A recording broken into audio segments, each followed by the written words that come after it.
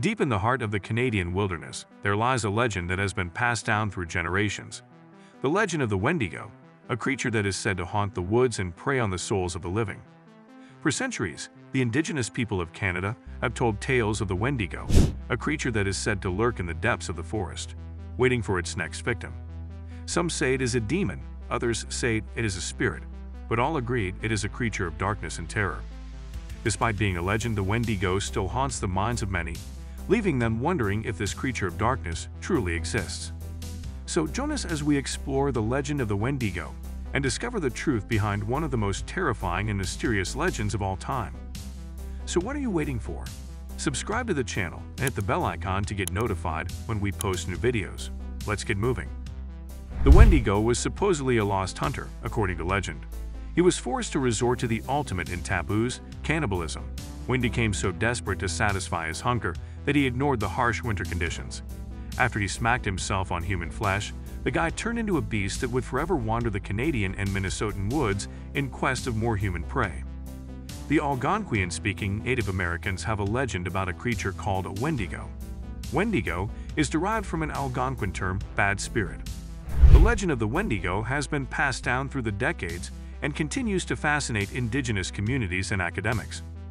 Tribal stories about the Wendigo in Native American culture vary, but in general, this creature is a beast that can take human form and lives in extremely frigid climates. People have different interpretations of the Wendigo, with some believing it to be a cannibalistic monster that feeds on human flesh and others viewing it as an angry spirit that punishes those who disobey the natural order. Wendigo are considered particularly skinny because their hunger is reflected in their physical appearance. Some people consider Wendigo to be giants due to their height of approximately 4.5 meters, 14.8 feet, although they have emaciated bodies. It is generally accepted that Wendigo have luminous eyes, large yellow fangs, and lengthy tongues.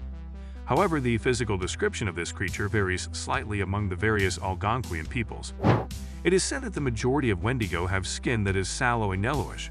However, other people say that their skin is matted with hair or that it is decaying.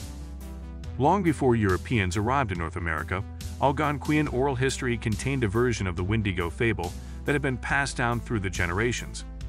Paul Lejeune, a Jesuit missionary who lived among the Algonquin people in the early 17th century in Quebec, provided the earliest recorded account of a Wendigo by a European. In 1636, Lejeune wrote the following in a report that he submitted to his superiors in Paris. This devilish woman added that the Wendigo had eaten some Atikagukan, which are the tribes that live north of the river called Three Rivers, and that he would eat many more of them if he were not called elsewhere.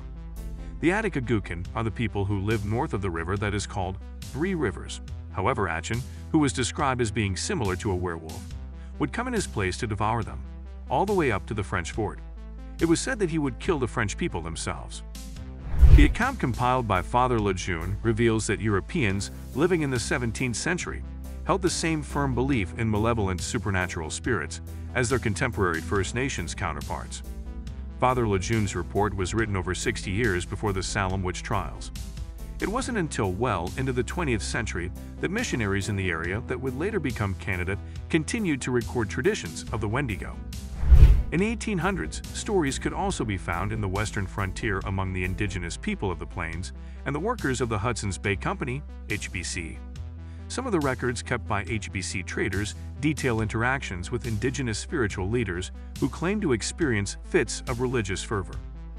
These people were frequently accused of being Wendigos by the indigenous peoples, and the HBC traders occasionally portrayed them as being mad.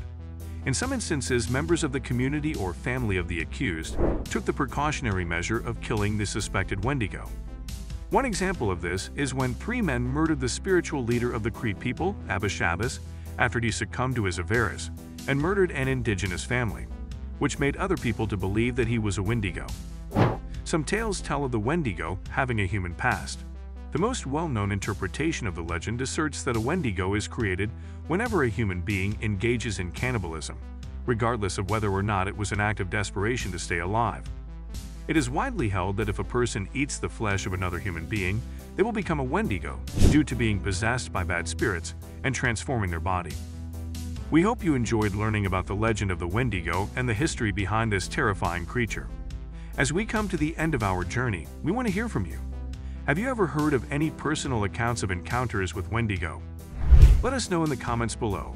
And if you found this video interesting, don't forget to like and share with your friends. Thank you for watching. We'll see you on our next spooky adventure.